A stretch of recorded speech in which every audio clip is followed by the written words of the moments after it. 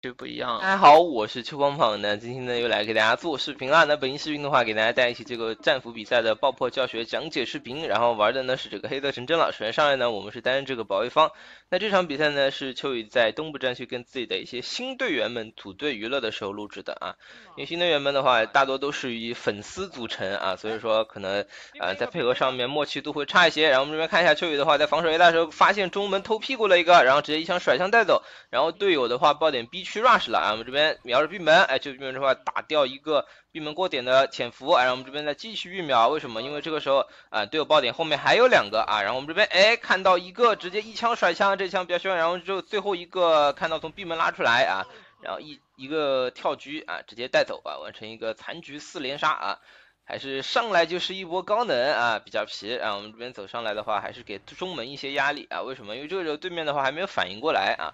以我的经验的话，这个四杀确实就打的有一点。在敌人的视角里面啊，因为他不知道我是在基本上是在哪个位置啊，就大体位置啊，他知道大体方向，但是他不知道我的具体位置啊，那他这种就死得很莫名其妙啊，这个时候他肯定是没有反应过来啊，秋雨的这边的话肯定就是趁他病要他命啊，乘胜追击打得凶一点啊，然后我们这边呃小到这里哎稍微看一下，然后扔了个高爆啊，然后这场呢秋雨也是用上了迷彩地狗啊，为什么呢啊？因为这个啊 COP 有时候打腻了 哈，COP 打腻了换上迷彩。迷彩低狗来换一换心情啊，然后呢，其实呃很多人都觉得 COP 可能比迷彩强，这个可能加了子弹数之后确实有一点啊，因为射速比较快嘛啊，然后呢，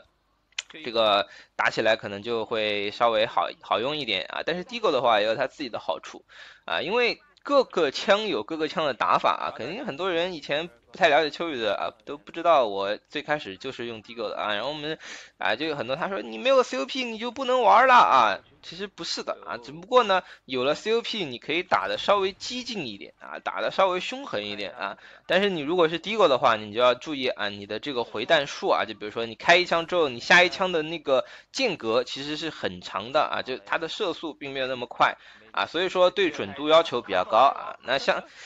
那说准度的话，可能啊，我这边就差一点啊。现在这段时间确实差一点啊，没有怎么去练这个东西啊。手枪准度的话，没有以前那么准了啊，就偶尔的话想用这个枪来，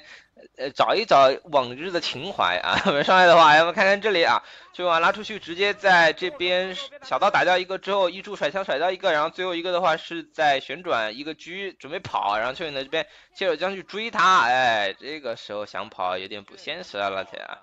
啊，直接哎又是一个四杀，四杀完了我们这边。三比零开局啊，三比零开局，压力比较大啊。说实话，这个时候蚯蚓的是十杠零啊，毫不客气的说啊，有点皮啊，十杠零啊，但是的话，好像后面还是。破了啊，破了！我们这边上来的话，在中路看到一个走小道的，然后告告诉队友的话，可以嗯防防守一下小道，然后秋雨的话这边来架着 A 打，这个位置的话是秋雨打枪王之王经常会用到的位置啊，也推荐大家去使用。你只要往这边一蹲的话，基本上 A 大那块就基本上看不到你了，然后你抬头的话，就是能打到 A 大的所有人啊，所以说啊这个位置还可以啊。想当年啊，在跟咖哥打对面的时候啊，我在这个地方连杀了他两次啊。第一次的话杀掉他，他可能觉得，啊，是吧？不是很服啊。第二次再来，然后的话，啊，就很难受了啊。我们这边的话，这里绕了一波屁股啊。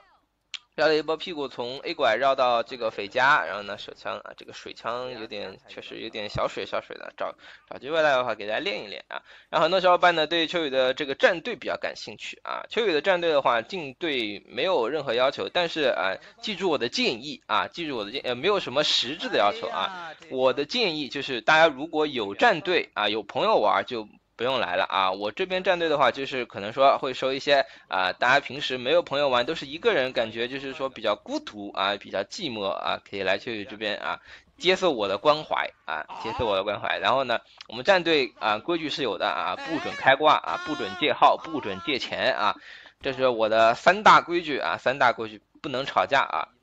不能吵架的话啊，这个其实大家我到现在为止大家都挺和谐的，我的队友里面。然后这边我们在切换上下半场的时候，秋雨在第一波直接被对面的这个保卫者秒掉了啊，而且是一个 two tap 啊，这个其实就有点伤自尊了呀，对不对啊？然后这边的话肯定就这把死磕 B 点啊，因为可能老粉都知道秋雨嗯打黑色喜喜欢去摸 B 啊，喜欢去摸 B 点，然后呢去抽人啊，然后我们打 B 点呢也是嗯打的比较好吧。